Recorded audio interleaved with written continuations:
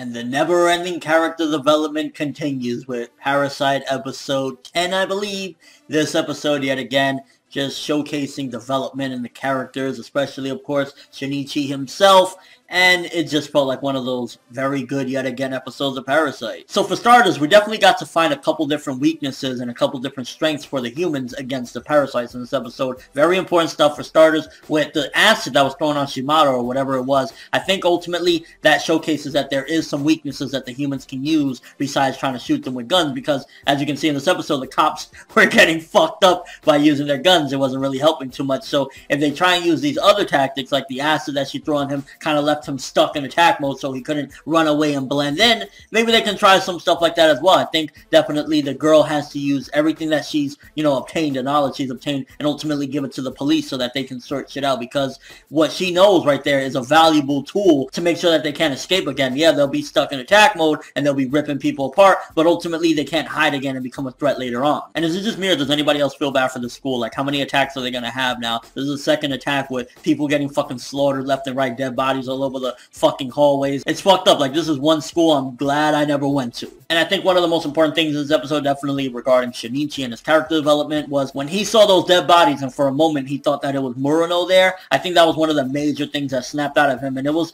kind of a mixture of metaphoric and physical at the same time of a change within him. It was kind of like metaphorically, what am I doing? You know, kind of just looking at it from different perspectives and not just actually physically. But then also physically, it seems as though he got a pain in his heart. And I wouldn't be surprised if mentally he was able to I guess, get rid of some of the extras because remember me, he said there was extra pieces of him inside that he couldn't get back. Maybe somehow some of those pieces actually dissolved or got out of his heart so you can actually start feeling a little bit again because after that point, you can definitely see a little bit of the old Shinichi that we loved is back. Like you could definitely see he's starting to feel again, even in the ending scenes with Murano and stuff like that. You could see that he is once again slowly returned a little bit anyway to who he used to be. So it's like a mixture of white-haired Kaneki and black-haired Kaneki for all Tokyo Ghoul fans. And it's interesting because it's not backwards character development. It's just a different type of character development because up till now he's been just developing more and more into like a parasite, losing his emotions. But him seeing these fucked up things and realizing like I do care, it actually broke through. So it's kind of like physically and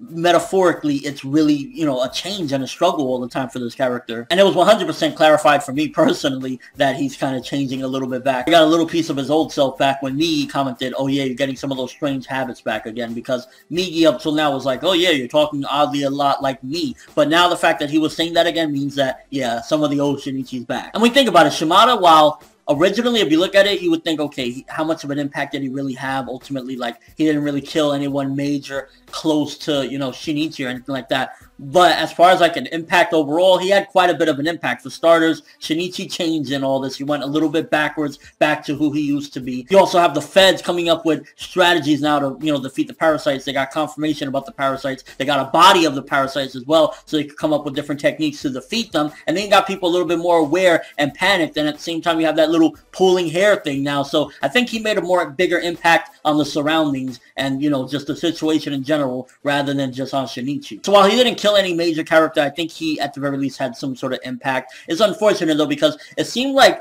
to a certain degree, maybe somewhere in Shimada, he kind of wanted to not be 100% like this, but once he was stuck in attack mode, it was like, fuck. And it was real nice and sweet to see Murano and Shinichi back at the end of the episode. It's like, I'm so scared for Murano because with all these fucked up things that is going on, it's like, at any given time, they could kidnap her or do something to her to try and get to Shinichi, and it's like, I don't want to see that sweet and innocent girl die. And that hair pulling tactic definitely felt like something the real world would have where like the government is like, oh, we need to try and do something. So let's put it in through a fad so that way we can mask our true intention. Yeah, I'm a bit of a conspiracy theorist. And overall, again, a very good episode of Parasyte. I feel as though maybe Shimada could have been a little bit more like I think we didn't get enough of the cunning mind of Shimada. We got more of him just being like a monster, and I was hoping for more of a mental challenge with Shinichi. I'm hoping for that opponent that's really gonna out strategize him, outthink him. But Shimada just kind of was more so like a brute in the end because of him being stuck in that attack mode. Let me know what you thought of this episode. What do you think about Shinichi changing a little bit again, getting some of that old self back? Do you think that that's a good thing? I personally think that he has the strength now. He has the I'm going to do it at all costs now, but he also has the feelings now again that he needed to